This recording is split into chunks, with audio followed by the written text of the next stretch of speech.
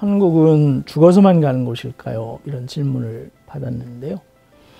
음, 사실 이 천국 혹은 천당, 아, 이제 이런 개념들이 한국 어, 종교 상황 속에 들어오면서 좀 어, 이렇게 의미가 그 모호해지지 않았는가 이제 그런 생각이 좀 듭니다. 사실 천당 혹은 천궁 혹은 뭐 내세 이런 식의 개념들은 이렇게 우리가 불교에서도 이제 볼 수 있는 생각들인데요. 예, 사실 불교적인 세계관에서 보게 되면 이렇게 예, 이건 대승불교 이야기인데요. 어, 이렇게 열반에 이른다 하는 것은 이렇게 음, 어떤 의미에서 보면 이제 어, 그 윤회 세계를 벗어나는 그래서 윤회 세계가 이제 현상 세계라면 어, 그것을 벗어나는 열반의 세계 그것을 우리가 뭐라 부를 수 있냐면 천공 이렇게 부를 수 있고 내세 이렇게 부를 수 있고 혹은 천당 이렇게 부를 수 있는데요. 과연, 과연 이제 그러면 이렇게 기독교라고 하는 것이 내세 종교인가 이제 이런 질문을 좀 할 수 있을 것 같습니다.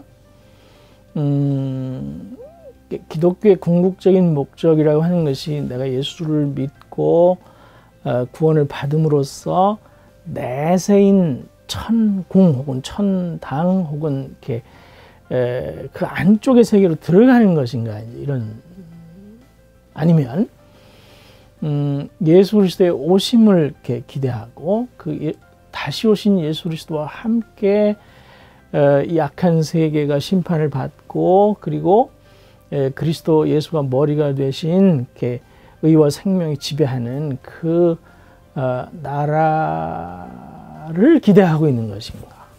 이제 이것이 우리가 좀 한국 기독교가 어, 성경의 근거에서 근본적으로 좀 던져보아야 할 질문이 아닌가 그런 생각이 듭니다. 에, 성경은 이제 전반적인 측면에서 볼 때 후자를 지지한다 이런 생각이 좀 들고요.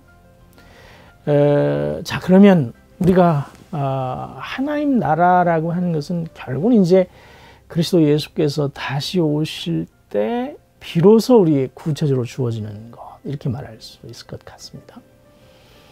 에, 그러면 그리스도 예수께서 오시기 전에 이제 에, 그리스도 예수와의 관계 속에 있다가 아, 죽은 사람들은 어떻게 됩니까? 이제 이런 질문을 할 수 있는데요. 우리 기독교적인 의미에서 볼 때 죽음이라고 하는 것은 육체와 영혼이 분리되는 것이지 않습니까? 그래서 육체는 무덤에 이제 안장이 되고요. 영혼은 이렇게 죽게로 갑니다. 어, 그 죽게로 간 그 상태, 그것은 영으로 주와 함께 있는 것이죠.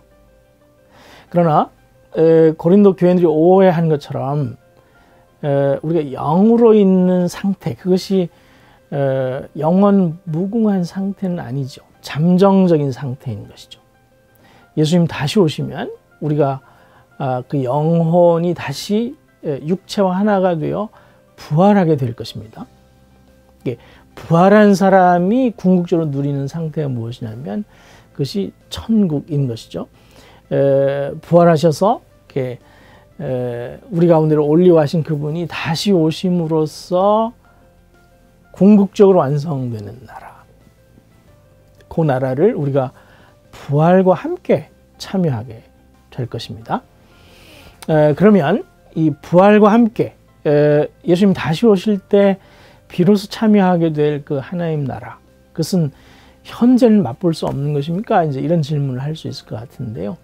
자 미래 하나님 나라 예수님 다시 오심으로써 부활에 참여하는 우리가 함께 누리게 될 그 나라의 시민권이 되는 것은 어, 언제일까요? 그것이 바로 여기인 것이죠.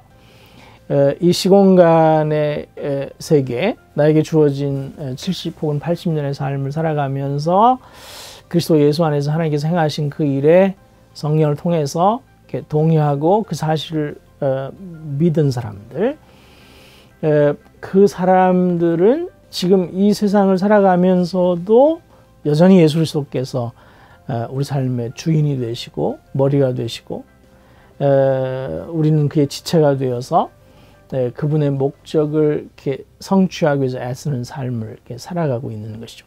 그런 측면에서 보면 우리는 이미 지금 여기에서도 어, 천국을 맛본다 이렇게 말할 수 있을 것 같습니다. 네, 그런 의미에서 우리가 천국에 어, 현재 참여했다 이렇게 말할 수 있을 것 같고 어, 예수님 다시 오실 때 우리가 비로소 이제 천국에 미래 참여한다 이렇게 말할 수 있을 것 같습니다. 어, 천국은 한편 그리스도 예수 안에 지금 현재 우리에게 주어진 현실이기도 하고 또한 동시에 다시 오실 예수님을 통해서 주어질 미래 현실이기도 하다. 근데 이 현재와 미래를 동시에 견인하는 유일한 분이 계신데 그분이 바로 예수 그리스도이신 것이죠. 그래서 지금 여기서 우리가 예수 그리스도를 머리로 하고 아, 그분을 내 삶의 주인으로 신앙 고백하면서 어, 정치의 사회 문화 전반에 걸쳐서 그의 주대심을 인정하며 살아가는 것 이것이 천국을 살아내는 것이다 이렇게 말할 수 있을 것 같습니다.